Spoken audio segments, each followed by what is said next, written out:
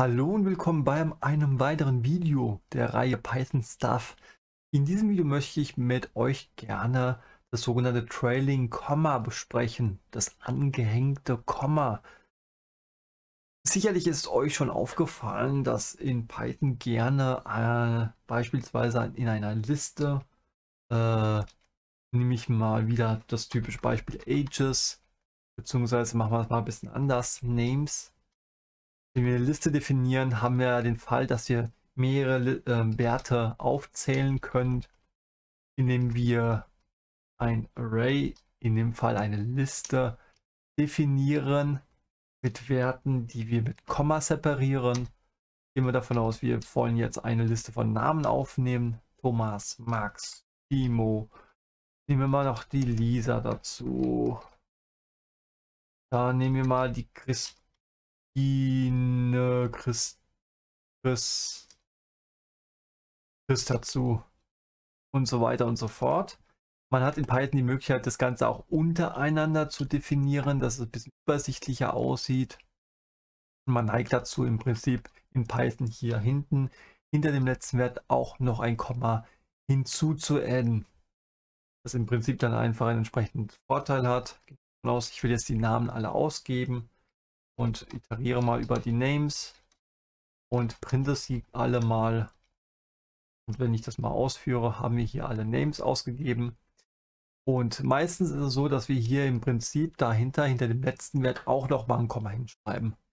Das hat mehrere Gründe, beziehungsweise eigentlich einen Hauptgrund. Und zwar haben wir eigentlich zwei Gründe.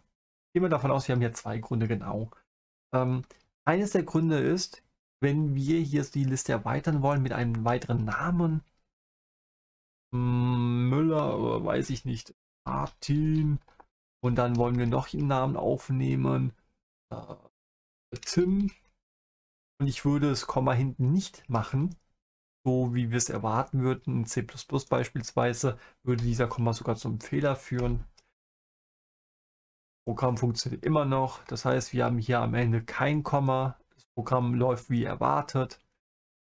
Ähm, und ich komme auf die Idee, ach, ich will noch ein Tom aufnehmen. Tom, speichere das, fürs aus. Und merke plötzlich hier unten ein Tim-Tom. Woran liegt das? Python erlaubt es blöderweise, zwei Strings hintereinander zu schreiben. Was Python macht, ist, er bindet die zwei Strings zu einem zusammen. Also wir haben die Möglichkeit, sowas zu machen. Ja, sowas zu machen. Oder sowas. sehen wir auch, wenn ich einen Print ausgebe. Print, Fest, Hallo, Welt. Was hier passiert ist im Prinzip, dass Python einfach das zu einem zusammen String, einem, zu einem gemeinsamen String zusammenbaut. Kaskadiert, letzten Endes. Konter, auch immer. Das ist ein Problem, wobei es ist ein Feature in Python, dass wir sowas tun können, hat aber einen blöden, unschönen Nebeneffekt. Wenn ich hier bei der Erweiterung der Liste hier ein Komma vergesse, tja, nun haben wir ein Problem. Deswegen muss man besonders diszipliniert vorgehen und darauf achten, dass man, bevor man eine neue Zeile hinzufügt, den Komma macht und dann hier, äh, wir gehen die Namen aus, Lena, im Prinzip, neuen, bevor man einen neuen Namen hinzufügt, noch ein Komma hinzu. Das ist das eine.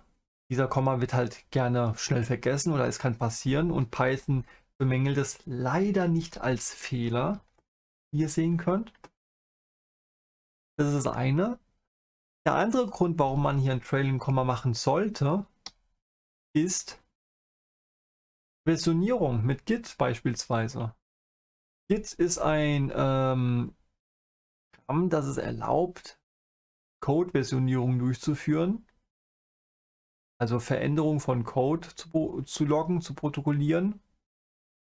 Und durch Commit, Commits im Prinzip mehrere Code-Versionen zu besitzen am Ende.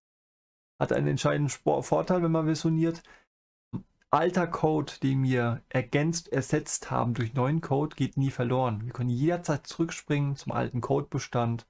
Es ist, als würdest du hergehen und sagen, Bevor ich diesen Code ändere, kopiere ich mir den Quellcode, lege es in den Ordner ab, Version 1, erweitere meinen Quellcode mit neuen Werten beispielsweise oder neuen Zeilen und das ist meine neueste Version.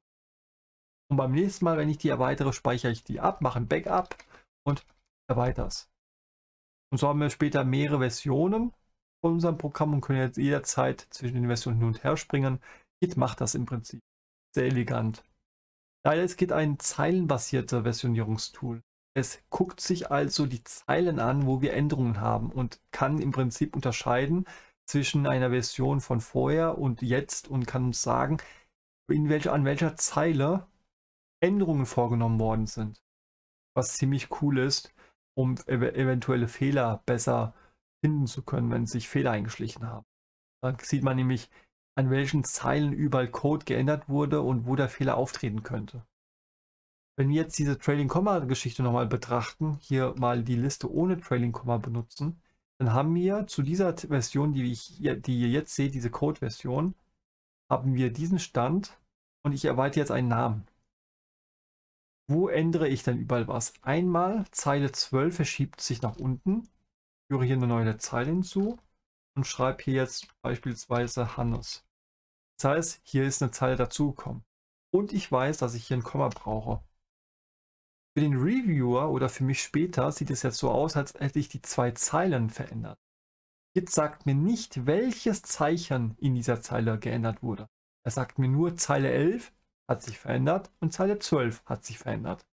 Der Reviewer, der meinen Code überprüft und ähm, sichtet, kann hinterher nicht mehr sagen, ob ich, ob der Name neu dazu kam oder der Name neu dazu kam. Das kann er nicht erkennen. Wenn ich von vornherein hier meinen Codebestand statt diese Version in dieser Version gehabt hätte, wäre jetzt mein Codebestand und ich ändere jetzt meinen Code zu einer neuen Version und schreibe hier Hannes rein, haben wir hier keine Veränderung gehabt. Nur in dieser Zeile. Das ist der Grund, warum man Trading Commas verwenden sollte und vor allem auch untereinander schreibt. Trading Komma Geschichte hat überhaupt keinen Effekt mehr, wenn ich eine Liste angebe, die so aussieht. Das heißt, Trailing Commas werdet ihr meistens oder generell nur im Kontext sehen, wo die Werte auch untereinander stehen. Wenn hier ein Trailing Komma ist und ich komme hier auf die Idee, jetzt hier Hannes reinzuschreiben, Git sieht es so aus, als hätte ich die ganze Zeile geändert. Git kann nicht sagen, hier hat sich was geändert oder dieser Teil ist neu dazugekommen. Er sagt mir einfach nur, das hat sich geändert. Es gibt sicherlich das ein oder andere Plugin oder Framework, das genauer reinschaut und sagt, ich unterscheide mal zwischen dieser Version und dieser Version und vergleiche die einzelnen Zeichen, um konkret sagen zu können, was sich geändert hat. Aber in der Basisversion ist es eher unüblich und eher herausfordernd, um Änderungen mitzukriegen, wenn Trailing Komma nicht verwendet wird. Also merkt euch bitte, Trailing Kommas sind relativ nützlich. Zum einen, weil man in Python zwei Strings hintereinander angeben darf und nicht auf die Idee kommt, hier ein Komma zu vergessen versehentlich. Und auf der anderen Seite, auch diese Konstellation kann passieren, dass ich sage, ich habe hier jetzt ein Justin. Wenn ich das ausführe, auch diese Kombination geht, weil er führt jetzt hier ein Einnahmen, Einnahmen, Einnahmen und dann hier ein, macht er hier Einnahmen draus und dann Komma separiert für den nächsten. Letzten Endes seht ihr, was Python draus macht. Er bindet diese zwei Strings zusammen. Also passt einfach auf, dass ihr immer ein Trading Komma verwendet, möglichst die Werte untereinander auflisten lässt, hat im Prinzip Vorteile. Zum einen, wie gesagt, ich vergesse diesen Komma nicht und habe keine unschönen Nebeneffekte. Und zum anderen, Thema Versionierung mit Git oder diversen anderen, die zeilenbasiert arbeiten, haben es deutlich einfacher, somit auch der Reviewer. Merkt euch, Trailing Komma macht aber auch nur Sinn, wenn die Werte untereinander stehen und nicht nebeneinander. Wenn ich das jetzt beispielsweise abspeichere, mit äh, formatiere mit äh, Alt Shift L, dann müsste eigentlich PyCharm das mir automatisch korrigieren. Auch nicht. Schade. Das kann PyCharm nicht. Doch mit Steuerung O hat das gemacht. Okay, wie auch immer. Es gibt im Prinzip auch bei den IDEs Hilfen, um Code formatieren zu lassen. Manche Formatierer gehen her und tun im Prinzip sehr kurze Listen so zusammenführen. Wenn ich die Liste dann länger mache, dieser Anna und wir eine gewisse Maxlänge erreicht haben, machen soll Formatierungstools automatisch hier ein Trailing Komma rein und formatieren es dann untereinander, damit die Zeile nicht endlos lang wird. Und diesen Effekt habt ihr sicherlich in Python auch schon beobachtet, dass plötzlich so ein Komma reinrutscht, wenn das untereinander aufgelistet wird. Das hat wie gesagt Gründe, warum das so ist. Und in Python ist das erlaubt, nutzt das bitte, weil es, wie gesagt, gängiges Mittel ist. Weg. Ich glaube auch JavaScript verwendet Trailing Komma, bin mir jetzt gerade aus dem Kopf nicht so sicher.